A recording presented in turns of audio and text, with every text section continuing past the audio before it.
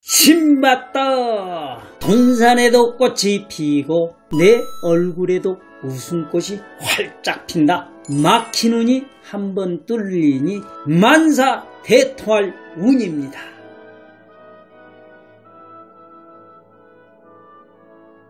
여러분들 안녕하세요. 경기도 성남 보은 철학원장 역술가 보은입니다.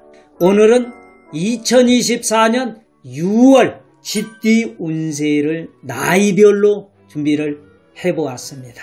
궁금하신 분들은 채널 고정해 주시고 끝까지 시청해 주시길 바랍니다. 그럼 구독과 좋아요로 6월 쥐띠 운세 시작하겠습니다. 제일 먼저 1996년 병자생 쥐띠는 막힌 눈이 뚫리기 시작합니다. 24년이 되면서 쥐띠의 운세가 길하게 바뀌고 안정적인 흐름을 타게 되는데요. 그래서 작년까지 백수로 지냈더라도 올해부터는 취직을 하신 분들이 많으실 겁니다. 만약 이직을 염두에 두신 분이라면 6월부터 운기를 잘 활용하시면 좋은데요. 일자리 운이 좋으니까 당연히 재물운도 술술 풀리기 시작합니다. 취직을 하니 돈을 벌 것이고 이직을 하면 더 높은 연봉을 받을 수도 있는데요. 매매나 계약 등 문서운도 좋아져서 돈 걱정은 하실 필요가 없습니다. 그러나 딱 한 가지. 짓띠는 6월에 사람을 조심하셔야 합니다. 누구를 조심하라고요? 사람. 구설수에 올라 인간관계 때문에 갈등을 겪을 수 있기 때문인데요. 남을 험담하거나 오지랖을 부려서는 안 됩니다. 직장에서는 물론이고요. 연애도 입을 잘못 놀리면 일이 꼬일 수 있습니다. 바람을 피웠다는 둥 관제구슬에 얽힐 수 있으니 조심을 해야 하겠습니다. 모든 인연을 대할 때는 맺고 끊는 것에 신경을 쓰시는 게 좋겠습니다. 이어서 1984년 갑자생 쥐띠는 땅을 파다가 파다가 마침내 펑!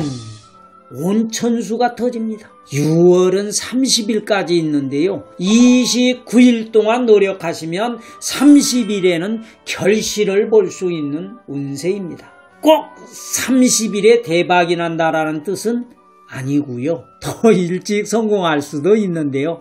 그만큼 평소처럼 우직하게 노력하시면 어느 날 일이 뻥 뚫린다는 얘기입니다. 우리가 인생을 살다 보면 정말 답이 없는 문제에 맞닥뜨리는 것도 많이 경험하잖아요. 하지만 이런 운세는요, 반드시 답을 찾게 됩니다. 단지 노력이 조금 필요할 뿐이지요. 직장인 사업가 분들은요, 목표가 있다면 이것을 달성할 수 있는 방법을 분명히 찾게 되실 거고요. 흔들리지 않고 성실하게 살아가면 반드시 목적을 이루시게 될 겁니다.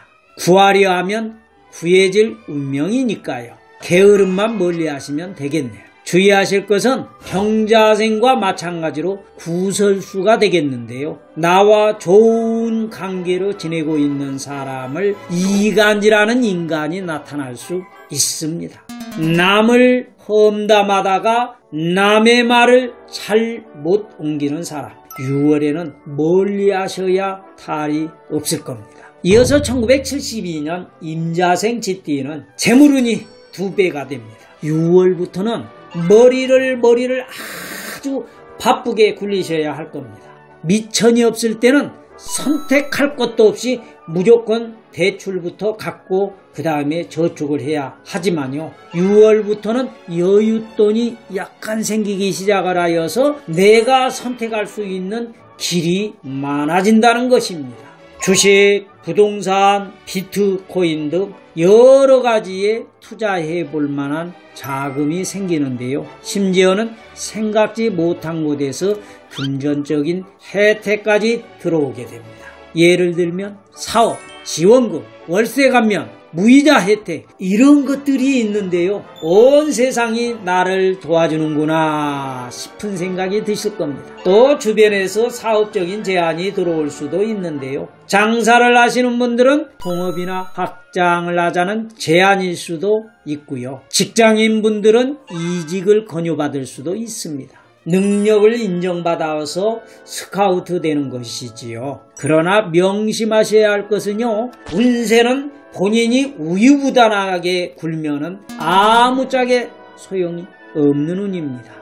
돈을 벌 기회가 코앞에 있는데도 결정을 내리지 못하면요. 6월은 순식간에 지나가고 재물은도 그저 바람에 날려 보내게 됩니다.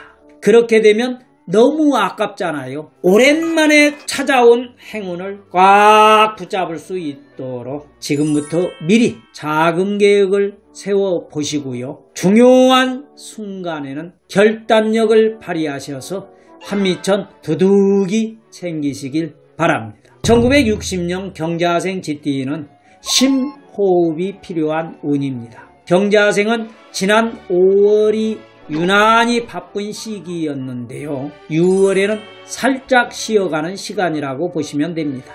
일이 없다는 뜻은 아니고요. 마음을 느긋하게 먹으셔야 한다는 겁니다. 예를 들어 부동산 매매 같은 일을 예정하고 계신다면요. 본인이 안절부절 못하고 안달복달 해도 안 팔릴 것은 안 팔리고요. 못 살 것은 못 삽니다. 6월에는 나를 재촉해서도 안 되고요. 남을 다그쳐서도 안 됩니다. 집안에 백수가 있어도 빨리 돈을 벌어오라고 닥달을 하시면 안 되고요. 시집장가 안 간 자식이 있어도 등 떠밀면 안 됩니다. 괜히 마음을 급하게 먹으면 7월이 꼬여 버리니까요. 이번 한 달 동안은 한 걸음 물러서시는 게 오히려 좋겠습니다. 마지막으로 1948년 무자생 지띠는요, 결실을 맺는 운세입니다. 어떤 일이 마무리되는 운이라고 보시면 되겠는데요. 예를 들면 안 팔리던 골치 아프던 부동산이 팔리거나 5년짜리 적금이 만기가 되거나 병원에서 퇴원을 한다거나 이렇게 갈무리가 되는 일이 생기실 겁니다. 이쯤에서 건강운을 잠시 말씀드리면요. 어려움은 없으나 간, 고혈압, 당뇨, 관절에 관련된 질환에 신경을 쓰시면 좋을 것 같습니다. 또 하나 조심하셔야 할 것은요. 6월에는 물건을 잃어버리거나 도둑을 맞을 수도 있는데요. 지갑 단속을 잘 하셔야 하겠습니다. 그것 외에는 크게 어려운 일은 없으실 것 같습니다. 갑진년은 삼재를 잘 견뎌내고 마무리하는 시기가 되는데요. 너무 성급하게 행동하지만 않으시면 큰 이기도 없고 집안의 경사도 찾아올 테니까요. 평소처럼 열심히 살아가시면 내일은 길한 소식이 들려올 것입니다. 지금까지 귀한 시간 함께 해 주신 사랑하는 구독자 여러분들 감사합니다. 궁금하신 내용이나 여러분들의 소중한 의견을 아래 댓글창에 댓글로 남겨주시고요. 마지막으로 좋아요 한번 꼭 눌러주시고요. 다른 띠들도 6월 운세 준비해서 올려드리니까요. 많이 많이 시청해 주시길 바랍니다. 감사합니다.